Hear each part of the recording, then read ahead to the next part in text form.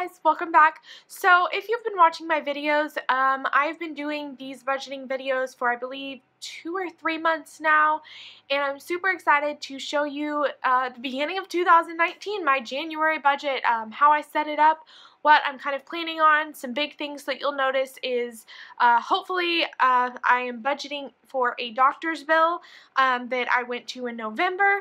So hopefully I'll be getting that in January. Uh, I will be calling them this January, so it hopefully arrives. Um, another thing is uh, my dog, which is right there. I'll show you a better view, not of her bottom, um, in a minute, but uh, she is getting a haircut. She has not gotten a haircut since I've gotten her. It's been two weeks and she obviously hasn't had one for a little bit.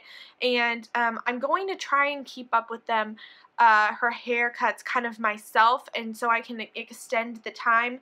Um, but I do not trust myself clipping her nails or um, cleaning out her ears or anything like that. So my hope is is that she can get a main haircut and then I can do any trimming and then her nails and everything will be kept up that way and so I don't know exactly how much that is going to cost. Um, and then I also have to get her a collar uh, to keep away flea and ticks because you just probably saw her scratching. She is allergic to the pills to keep fleas and ticks away. So she will be getting the collar, which is what my old dog had, and that I believe is around uh, $50 and um, keeps away fleas and ticks for want to say it's six or eight months. I don't remember. Obviously, it says on the thing. I want to say it's eight months. So uh, definitely worth the price, 100%. Um, so those are kind of some major things that you're going to be seeing in my budget. Other than that, uh, it's going to be a normal budget. And then I'm also thinking February is going to be a no spend month. I have done one of these in the past. I did not film it. Um, I do have it on my website, kind of uh, how, what the rules are for that and how I did that. Um, and I'll probably record that in the setup for that, but that's kind of in the future. So right now, let's take a look at my budget on EveryDollar. Okay guys, so we're taking a look at my January 2019 budget. So the first thing we can do is look at income. Just like last month, there's only four Fridays for January 2019, so week 5 will uh, remain at $0. I went back to my base budget um, for this month at $450. That is the max I can make each week working 40 hours um, with taxes and everything taken out. So that is it. My roommate will be paying $380. Um, that is kind of the budget that I set because uh, that is the minimum she will pay with rent and utilities added in at a normal average rate. My parents pay $6 for Netflix every month. Um, as you will see later on in my lifestyle, I pay $13.99 for my Netflix every month, and my parents and my brother both have profiles on my account. So they pay $6 of the account every month to help with that. Um, but they have already paid me, they normally pay me three months at a time, so they've already paid me for January.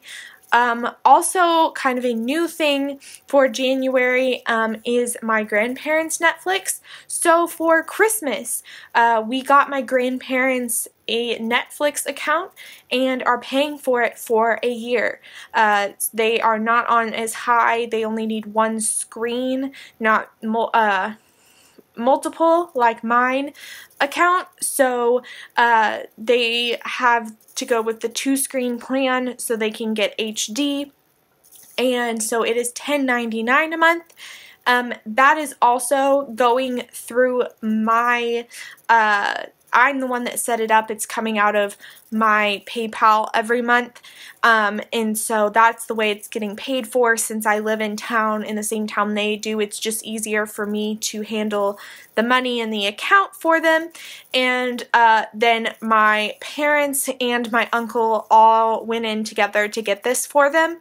And so that is something that uh, they have paid me uh, already for the entire of 2019. So every month you will see that this has already been paid um, and then I have it in my giving column that you will see. So this has been paid for all of 2019 so I'm just splitting it out month by month. Next, we will go to the giving. Um, so for gifts, I have no birthdays, uh, no graduations, no weddings, no really anything that I can think of that I will need to be doing gifts for. Um, so this is at zero dollars. Some people plan ahead and start kind of allocating for Christmas, um, but I honestly don't spend so much on Christmas that I need to spend the entire year doing it. Uh, the most I would ever have to do is start at October, kind of setting aside money or buying gifts. Um, next, we have church. I spend $5 every Sunday for my church. That's $25 total. Um, and then I also um, give my time in other ways. So uh, $25 in monetary and my time in other ways, but obviously this is only about money on EveryDollar. So $25, $5 every Sunday. And then giving, again, $10.99 for my grandparents. Um, the income was the $10.99 uh, coming in from my dad and my uncle, and the 1099 under giving is the 1099 going out to pay Netflix every single month. So I'm keeping it under giving since it was a gift. And as you can see, it's already, again, already been charged, so that is there. Again, my emergency fund is already at the $1,000. The extra $3.22 is just the interest earned on it, which I will not be moving out of that account. I'm just going to, that account is Although easily accessible, I do not want to touch that account at all. So I try to update the interest every six months. So it's actually higher, the balance is higher than this right now. Um, because I have not updated the balance in two or three months. Um, but I am leaving all interest earned on this account and just updating it about every six months. Next, let's go to housing. So my rent has gone up $10 um, as of January. So instead of 232 it is now 242 So as you can see, I've marked that. My water at the highest point it's ever been was around $39, so I round up to 40 and then any excess will go on my debt at the end of the month. So for right now I keep it at 40 because I cannot see it going any higher than that. My natural gas, I already know uh, what it's going to be. I, I, believe on the 10th of January, uh, $66.26 will be coming out of my account. Same with electricity. I already know, I believe on the 12th of the month, of January that 8224 will be coming out of my account. So I went ahead and put those in. As soon as I know um, what my bill is, I just go ahead and put it in there. Uh, my internet never changes. It was $72.49. I am looking at going to a cheaper internet that is going to be the same uh, quality, same speeds and everything. But unfortunately, the uh, company has not come out this far in the town that I live in, but they're hoping by the spring to be here. So hopefully within a few months, this bill will be going down. That is my goal. That is one bill that uh, I can't change, but I'm hoping to be able to in the future. Household maintenance every month is $50 unless I know something is happening. For instance, in December, you will see when I go over my budget, I had a my roommate's key got stuck in the door and we worked to get it out a lot, but unfortunately the lock is what caused the key to get stuck and there was no saving the doorknob. So the I had to get a new doorknob, which will be reimbursed to me because the way my housing is, my dad helps pay for maintenance costs, um, which basically he treats it like I'm renting the space from him. And so um, he pays for the maintenance costs. So that, although coming out of my budget currently, he will be paying me back for the doorknob, which I will show you in December. It is winter time, so I do not need the lawn care from my cousin. So zero dollars on lawn care. Pet care. Again, I put $100. I'm hoping to stay under this $100. I do not believe I will need food this month. Um, I know that she will be getting a haircut, and I also know that she will need the flea and tick, as I said before. So uh, that will be in that budget. So that is why it's at a higher rate and for I believe the next six to eight months it will only be food and any other emergency costs that are necessary. So repairs, as I said, I'm kind of still trying to figure out what repairs versus household maintenance is, and I'm debating on getting rid of the repairs column because household maintenance to me is following under repairs, so I will be getting rid of this column actually, and all of the repairs will be going under the household maintenance. Next, we have transportation. Every month, I budget $200. Um, I normally spend around $150. That extra $50 in the budget is for if I do traveling to see family or if gas prices suddenly shoot up, which has happened before. That is why it's at $200. Oil change, I believe I will need an oil change in the month of January, so it will be $50. Um, I know it's around 46 something, but I kind of leave an extra because just in case taxes change or the prices change a little. Maintenance, uh, $50 again. I try to leave in anything I can um, and put it off, but I also want to keep my car in good shape so I can keep it. So I put my maintenance at $50 every month. Right now, I do not believe I will be needing this, and I'm hoping that that stays true, but I'm putting $50 just as an incidental cost. Next is food. As you know, my food budget does not change. I have $50 for groceries and $50 for restaurants. Um, this worked pretty well last month, and so I'm very proud of myself with that. And so I will be keeping the $50 and um, hopefully I won't need to make any adjustments, but I can if I need to.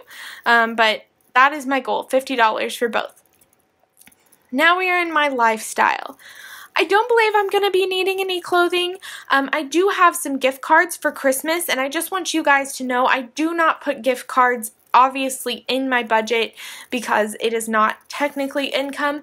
It was a gift to me, so my gift cards do not show. So I might be buying, if I do buy clothing, I have some gift cards, so that's the only reason I can see myself buying clothing or if something breaks.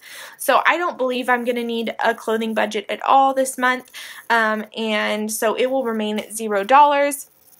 Miscellaneous um, is normally it's it's iffy if I miscellaneous. It's normally kind of um, anything that doesn't really necessarily fall under hair and beauty. Um, and so there could be various stuff in there. I honestly can't think of anything off the top of my head. Um, but that's what goes in that category. Hair and beauty, I have it for $30. I actually need to raise this because I am getting my hair done. So I'm going to put this at $100. I don't believe it's going to actually be $100, but just for the purpose of this, I can think off the top of my head that I'm getting my hair cut this month, that I'm also going to need some new shampoo and conditioner. Um, I think my makeup is okay, so uh, luckily that will be good, but um, this is a month that I think I'm going to need several hair items. And um, I do still color my hair. I still do cut my hair. This is something that I allow myself to do. Um, it's normally every nine weeks so I allow myself to do this just because it's it makes me feel better. Uh, it helps with my stress and anxiety. So uh, that's something I give myself. Uh, pharmacy $200 I've again um, I should rename this I'm going to rename this medical um, and it's $200. I have this set this way because $106 and a few cents will be for the medicine that I have to get every single month. And yes, that is with my insurance paying quite a lot of it. Without it, it is over a $1,000. Um, and yes, there is no generic out right now for this medicine, and I have tried going off of it several times, um, but unfortunately, this is one that I just have to stay on, at least for the time being. It is done wonders for me. Um, and then, of course, my doctor's bill. So I'm hoping $200 total will cover it. My phone bill is anywhere from 34 to $37 a month. So I will be, again, setting that 40 just to kind of cover any taxes or small fees that they may have. My Netflix never changes it. It's $13.99 every single month. My Spotify never changes. It's $9.99 every single month. I love these accounts. The reason that I still keep these, I don't have cable, I don't have anything. I love listening to music, and I can say honestly that um, driving to work for 40 minutes every single day, it's amazing having Spotify because I can ch change up my music. Um, it's ad free and I can download it so it doesn't use my data, which allows my phone bill to be way less because I have less than a gig on my phone. So amazing. Um, Acorns investments, again, I'm not doing any investing, but to remain on their account is a dollar, and I don't want to have to pay taxes on the money I've already invested by pulling it out, so I'm going to pay the dollar. And Hulu, uh, Hulu I got uh, as my roommate is going to be moving out this year, and they had a deal for, it's 99 cents with taxes, it's $1.06. So it is a dollar and six cents every single month and again that is something I'm willing to pay for and I think I'm going to be adding another profile because you can add extra profiles with my grandma because she likes watching certain shows and they just got rid of cable so if I create an account I bet I can actually get her to pay that and so that will be something that is no longer actually costing me anything at all. Lastly, my debt. So as you can see here, my loan uh, right here is 88.15. That's the minimum payment on that, so that will remain the same. And then my student loan number three. This is actually not the balance. After I pay off what I have in December, this balance will be lower, but until I know exactly down to the cent what I am paying at the end of December, I am not going to change that. So that is the total. Um, as you can see, I'm $70 over budget because I changed the hair and beauty. So let's take off that amount. And you can see that right now I have $623.82 going to my budget. Um, absolutely amazing. Um, as I said, my, I normally work overtime every week by at least uh, one or two hours. So that will be increasing my income. Um, so hopefully, uh, I'm hoping to get this amount up again to, I'm going to say for the first month, I'm going to say 45% to 50% is my goal uh, for paying off my debt this month. And then um, I can update you where we stand after that. Insurance is my last one. I paid in November. I still need to put the other month down. I pay every six months for the car insurance, so that does not need to be that month. So there you guys go. That is my January 2019 budget as it stands right now. There's my setup, there's my goals for the month. Again, 45 to 50% is not a bad goal. Um, there is a few things that's not normally there. Uh, this is one of the months that I'm spending more with my oil change, my hair appointment, and my dog needing her flea and tick collar. Um, kind of raises the costs more than is on the average month. Uh, so I can say that not every month will be this expensive. So I'm pretty proud of that. Um, if you're wondering my total income, uh, is 2,196 as it stands, uh, what I know I will be getting in January. So that is my total income. Um, something to note in the future that I have been trying to kind of consider is that my roommate will be moving out. Her goal is to move out by the end of January, and I will not be having a new roommate move in. I am very picky, and because of my anxiety, finding a roommate that um, I can, number one, get along with, and number two, that um, I trust is difficult for me. Um, all the roommates that I've had in the past, I've been friends with, and I knew them before they were my roommate, and I also knew that they were responsible. So that's kind of why I'm not getting a roommate. I'm no longer in college, and so if I so it's harder to meet people that don't have houses themselves or already are established because at my work mainly um, there are people that are married with kids. There's not a lot of people that um, are established and also not a lot of people live where I live. My work is uh, 30 to 40 minutes away depending on traffic and uh, I'm not moving because this is really cheap to live in. The house is already set up. Um, it's exactly what I need and what I like, and it's close to family, which is nice. So I'm not going to be moving, and I can't see anyone moving in with me. Now, if I do find someone uh, that fits what I need, then I would be more than willing to have them move in because I have an extra bathroom and bedroom. Um, but until then, uh, no roommate. And so that will be affecting my uh, income by a pretty significant amount. And uh, but I'm hoping that something to help out will that my utilities will be lower since it will be just me and um, hopefully I will be selling a few things and just kind of doing a few things so that's kind of what is going on with that. Um, as of January nothing's changed but you will probably see those changes throughout the next few months if she finds a job to uh, move because she's not planning on staying in this area now that she has graduated. So I will see you guys next time. The next video that you will see will be going back to December um, to finalize my uh, end of December budget.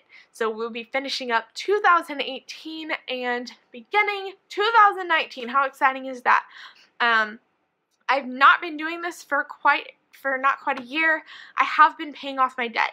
Um, I haven't been filming them very obviously, but I have not found, I just found the EveryDollar budget um, and actually started following along with it uh, within the past like five months and then I started filming it once I kind of figured out the app. Um, so I can say that although I have been paying off my debt more than most and may be making extra payments every single month, it has been nothing like what you have been seeing and so I'm very excited. I paid off, I will have to do some money and I'll probably do a video on it, but I want to tell you guys where I started, how much I've paid off, and how much I have left.